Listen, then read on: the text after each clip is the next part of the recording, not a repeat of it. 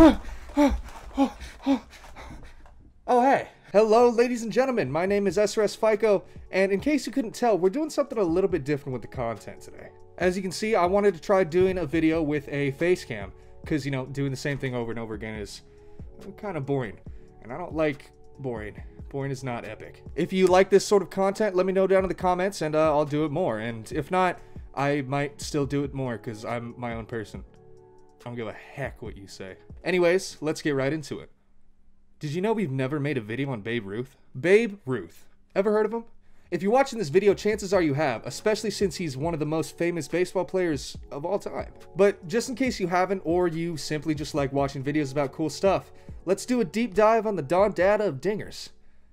That's enough D for for one day. George Herman Ruth Jr. was born in 1895 in the Pigtown section of Baltimore, Maryland. Babe Ruth started his rush to the big time in 1914 when he was signed to the Orioles minor league team. Of course, he was insane, so he was quickly signed to the Red Sox shortly after. And by the end of the 1916 season, he was known as a pretty gosh dang good pitcher who could also hit bombs, which was pretty uncommon back in the day, and continued to be throughout baseball history until, like, right now. Soon after this, though, he decided he wanted to be an outfielder so he would get more playtime, as he didn't get as much as he wanted being a pitcher. Especially since he once got ejected because he punched an umpire in the face. it was the first batter of the whole game. If this is what it takes to keep the guy on field and hitting dingers, so be it.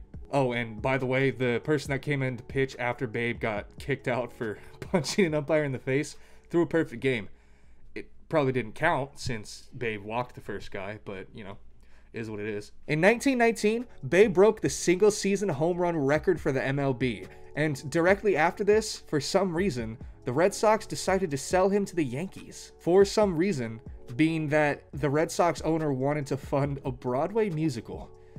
That's not a joke. And oh boy, did they regret this decision.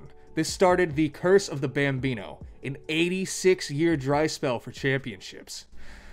Yikes, boys. With the Yankees, Babe helped them get seven American League titles and four World Series wins in his 15 year career. Not only did he draw crowds with his impressive amount of ding dong dingers, but he also helped pave the way for baseball's new live ball era. Basically, baseball was getting less boring and more freaking dope. In 1927, he hit 60 home runs, which exceeded his previous record of a single season by just one. It's not hard to tell that Babe was cracked out of his mind. In his career, he led the AL in home runs in a single season 12 times.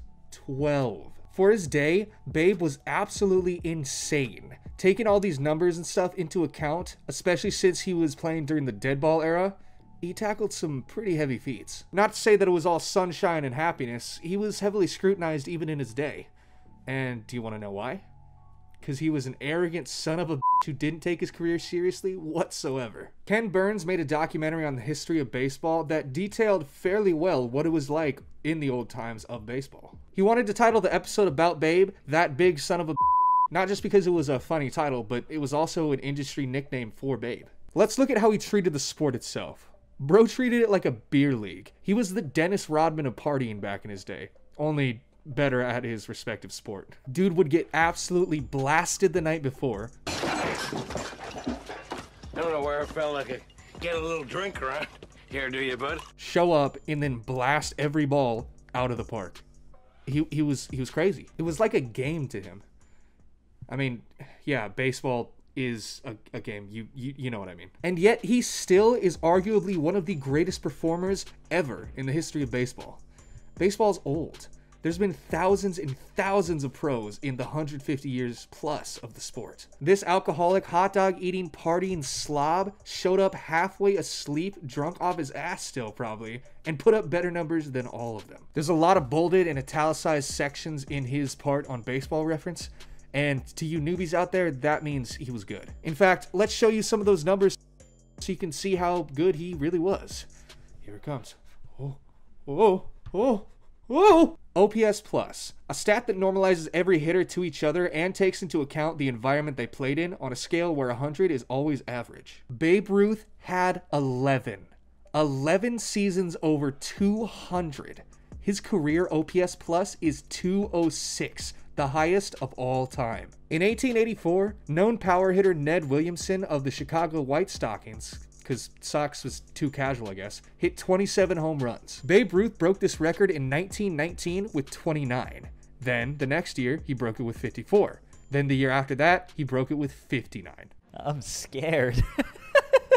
Jumping ahead a bit, in 1927, he broke it with 60. Babe Ruth had broken the all time record for career homers. The mustachioed fellow named Roger Connor ended his career with 138. And Babe Ruth retired with 714. Is that is that right? He took home run hitting and dragged it while he was kicking and screaming straight into the game of baseball. Going back to the dead ball era thing I mentioned earlier, that basically meant that pitching was dominating everybody and the balls were so sus that hitting it out of the park was basically impossible. Babe Ruth, almost on his own, kick-started home run hitting being popular.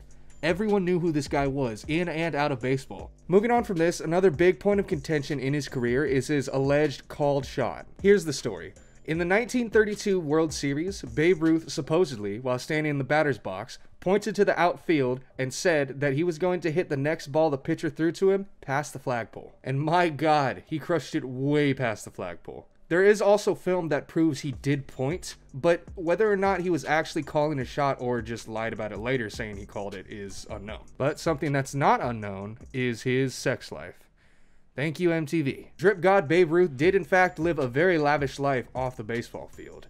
Also, he was known to be quite the alcoholic. During the Prohibition, nonetheless. It's not hard to search on Google and find plenty of images of him chugging down beers. It's also not very hard to find images of him clearly not taking care of himself, which makes his success that much more interesting. Think about how different athletes, especially baseball players, are today. All the effort that athletes put in all year round to not only get better at the game, but just be generally in better shape than the average Joe. Babe Ruth didn't fuck with that shit at all. It was just hot dogs, beer, and raw hamburgers for some reason. No hitting drills, no nutrition goals, none of that. Just cheap testicle injections. That's that's not a joke. He actually tried that. I don't know if that's like an old form of steroids or what that was about. But even with legitimate training and self care being basically non existent, he was still the most valuable player in baseball history by wins above replacement. He still holds the record in OPS, OPS plus, and slugging percentage. He was also one of the first five ever in the MLB Hall of Fame. He was also the only one of those five never offered a manager position in his life, a fact you can hear more about in a recent video of ours. But honestly, that's a great microcosm of what everyone in the game thought of him at his time. Really great hitter, but didn't gain the respect of his industry due to his off field escapades. Which you could use that summary exactly for possibly the best to ever do it, redefining a sport for the next hundred plus years in the process. No matter how you slice it, he was not only an important figure for baseball history, his culture at the time, but American history in general, you could argue. That's the kind of impact a guy who was born before screw bottle caps were even invented had. Ladies and gentlemen, thank you so much for watching this video. I really do appreciate it. And let me know down in the comments if you like this style of content. I really liked doing it, so hopefully you liked watching it just as much as I liked recording it. Anyways, if you made it this far, comments uh, Baby Ruth, like the candy bar. And um, I'll see you in the next one. Also, I love you forever.